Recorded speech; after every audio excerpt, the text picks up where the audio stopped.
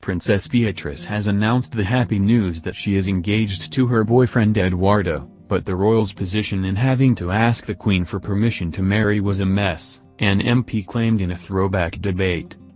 Princess Eugenie announced her older sister's engagement to her beau Eduardo Mapelli Mozzi on Instagram, with Prince Andrew and Sarah Ferguson confirming the news. Eugenie's post included a statement from the happy couple that read, We are extremely happy to be able to share the news of our recent engagement. We are both so excited to be embarking on this life adventure together and can't wait to actually be married. We share so many similar interests and values and we know that this will stand us in great stead for the years ahead, full of love and happiness.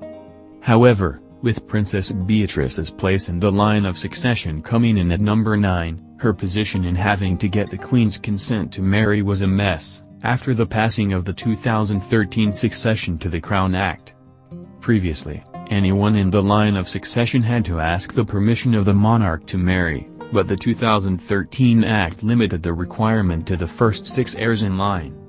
When the new rules were being ushered in, Chris Bryant MP argued that the act left the legal position of heirs like Beatrice was just a mess. Researcher Neil Parpworth, writing in the Modern Law Review in 2013 commented, although not under a legal duty to do so, such course of action would ensure that their place in the line of royal succession was not lost. This means that it would ensure Beatrice's continued place in the succession and, importantly, any children that may come from her marriage.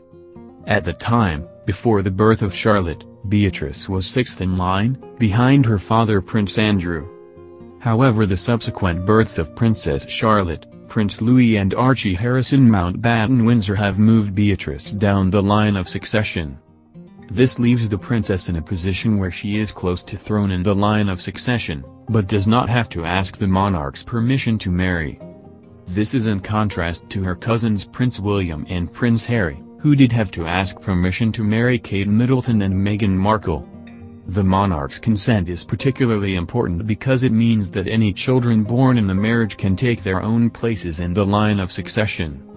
The act also had implications for Beatrice's last significant long-term relationship. The princess dated Dave Clark for 10 years from 2006. This meant that she was in a position to potentially marry her long-term love while still being within the requirement to ask permission of the Queen. However, royal insiders cast doubt on whether Her Majesty would give her permission. A source told the Daily Mail in 2015, William isn't a huge fan of Dave. It's fair to say that if Beatrice had asked the Queen for permission to marry Dave, and she in turn asked William privately for his view, she may not have been given a glowing report. The center of Prince William's consternation was reportedly that he worried over Mr. Clark being indiscreet.